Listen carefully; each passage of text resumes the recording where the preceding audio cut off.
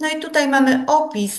Tutaj przypominamy, że od 2015 roku ministerstwo, jako pierwsze Ministerstwo Gospodarki, wyprojektowało czy zaplanowało pierwszy projekt. Y, do zeszłego roku wydano z funduszy y, europejskich blisko 50 milionów złotych. No właśnie, na kilka projektów, w tym na ostatni 12 milionów 200 na ten projekt z KRM-em związany, na ten projekt KRM-u, który właściwie nie funkcjonuje.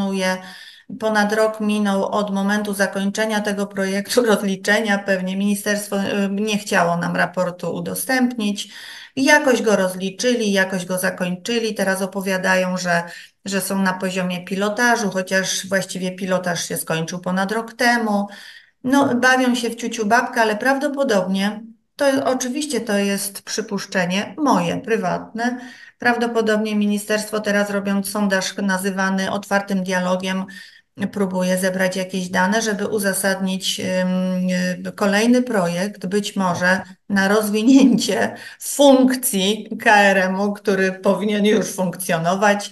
Także będziemy, będziemy to obserwować. No i oczywiście pokazujemy tutaj, wklejamy fiszkę, z tej fiszki wynikają wszystkie etapy.